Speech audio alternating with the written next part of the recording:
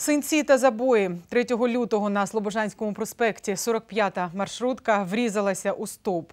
За попередньою інформацією, близько 15.30 водій автівки Рено зіштовхнувся із мікроавтобусом. У результаті маршрутка влетіла в електроопору. З місця аварії шістьох пасажирів забрали карети швидкої допомоги. За словами лікарів, травми не важкі. В основному забої, синці, легкі поранення. Пасажирів, кажуть, вже відпустили лікуватися амбулаторно за місцем проживання. Ни у кого из пострадавших тяжелых травм выявлено не было. Э, Там были ушибы и головы, и грудной клетки, и нижних конечностей, как правило. Э, В госпитализации никто из пострадавших не нуждался. Вказана подія кваліфікована як частина 1 стаття 286 Кримінального кодексу України.